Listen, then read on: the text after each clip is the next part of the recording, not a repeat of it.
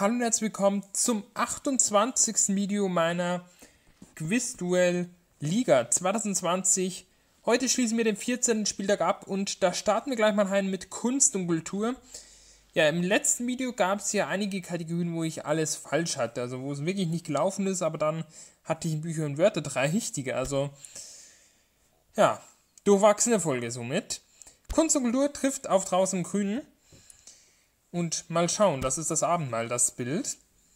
Ist schon mal richtig. Weil der Klabe nach Legion hat schon mal gepatzt, 3-0 gegen Bügelmörder. Und somit könnte draußen Grünen gegen Kunst und Kultur schon mal ein bisschen vorlegen. Welcher Designer entwarf eine berühmte Kollektion mit Mustern von Briefmarken und Banknoten? Hochenein Katranzu. Noch nie gehört. Wer ist Zoll Gabetta? Eine Cellistin und das ist richtig. Zwei richtige bei Kunst und Kultur. Das muss draußen Grün auch erstmal schaffen. Im Labor kann jetzt schon mit einer richtigen Antwort von mir punkten gegen Essen und Trinken. Wie lautet die extrem ätzende Lösung, die eine Mischung aus Salzsäure und Salpetersäure ist? Königswasser, das ist richtig. Welche der folgenden Substanzen wird auch als Backpulver bezeichnet? Okay, da habe ich das Falsche genommen. Und bei welcher Temperatur zeigen Thermometer und Celsius und Fahrenheitskala denselben Wert? Bei 32 Grad, nein, bei minus 40 sind somit ein 1 zu 1 eine Punkteteilung zwischen Essen und Trinken und im Labor. Wir nehmen als nächstes, würde ich sagen, Körper und Geist, die treffen auch Medien und Unterhaltung und haben es nicht einfach, weil ja Medien und Unterhaltung schon zwei richtige hatte. Wie lautet ein Intelligenztest für Kinder, der in der Psychologie angewendet wird? Das ist WISC, das ist schon mal richtig. Was erkennt man auf diesem Röntgenbild in der rechten Bildhälfte? Ist ein Herzschrittmacher tatsächlich. Und was bedeutet Physiognomie. Seelische Störungen an äußere Erscheinungen und somit gewinnt Medienunterhaltung mit 2 zu 1 und Körper und Geist ist somit aktuell auf dem letzten Platz. Jetzt haben wir also draußen im Grünen, schaffen sie gegen Kunst und Kultur das Unentschieden. Wie heißt die weltweit schwerste Kröte? Ist die Hiesenkröte auch Agerkröte genannt? Wie nennt man eine biologische Wechselwirkung, die bei der zwei Organismen mit positivem Effekt füreinander in einer engen Beziehung zusammenleben. Das ist eine Symbiose, auch das ist richtig. Somit das Unentschieden schon geschafft. Welches Savanttier ist ein Paarhufer mit bis zu 60 cm langen Eckzähnen und kommt überwiegend im Osten und Süden Afrikas vor? Das ist nicht das Nashorn, sondern das Warzenschwein und somit bleibt es beim 2 zu 2 unentschieden zwischen draußen Kühen und Kunst und Kultur. Wunder der Technik benötigt auf jeden Fall dringend mal wieder Punkte. Die sind bloß 14. mit 15 Punkten. Gegen die TV-Serien ist es möglich, mit zwei richtigen wären sogar drei Punkte. Welchen Gegenstand zweckentfremdete Melita Benz und entwickelte so den Kaffeefilter? Das war Löschpapier. Ist schon mal ein Punkt. Was stellte die Firma BMW ursprünglich her? Flugzeugmotoren. Auch das ist richtig und der Sieg ist somit schon sicher.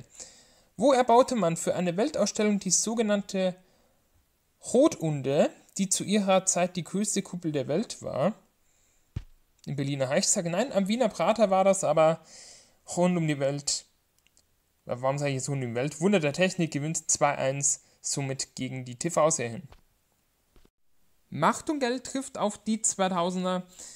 Auch ein interessantes Duell, weil die 2000er auch da oben mit dabei sind. Welches Recht regelt in Deutschland die Grundlage für die Beziehungen von rechtlich gleichgestellten Rechtssubjekten untereinander? Das ist nicht das öffentliche Recht, sondern das Privatrecht. Welcher US-Präsident, Gründervater, ist auf keiner US-Dollar-Banknote abgebildet? Ulysses Gordon, ein John Adams. Und wer trat im Jahr 2012 die Nachfolge von Heinrich Hasis als Präsident des Deutschen Sparkassen- und Giroverbands an? Woher soll ich das wissen? Ich nehme einfach mal diesen hier. Nein, es war Georg Fahn schon und somit leider hier alles falsch. Die Chance auf jeden Fall für die 2000er tatsächlich mit einer richtigen Antwort Erster zu werden nach diesem Spieltag. Jetzt werden wir sehen, was die 2000 machen, ob die jetzt der neue Tabellenführer werden.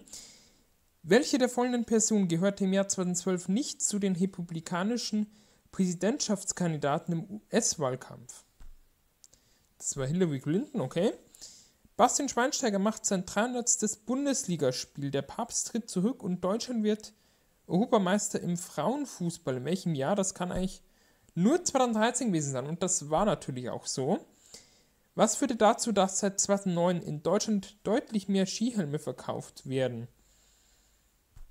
Das ist der Althaus-Effekt. Auch das stimmt. 2 zu 0 somit für die 2000er und somit auch die Tabellenführung. Aber das sehen wir uns danach natürlich noch an in der Tabelle.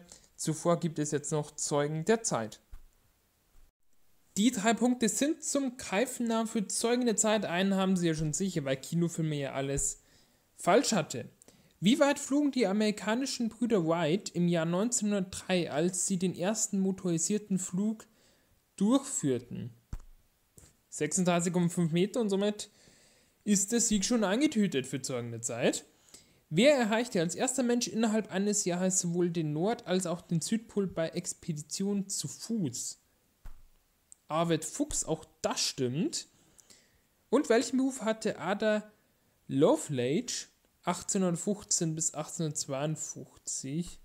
Fotografin, dann Mathematikerin, aber 2-0 ist schon ein gutes Ergebnis. Und jetzt seht ihr noch die aktuelle Tabelle. Den Platz an der Sonne haben aktuell die 2000 mit 28 Punkten und einem Spiel weniger als draußen können und glaube in der Legion sind sie da wirklich in Richtung Herbstmeisterschaft an diesem Spieltag schon einen wichtigen Schritt gegangen. Aber wie gesagt, wir haben auf jeden Fall noch ein paar Spieltage am Start.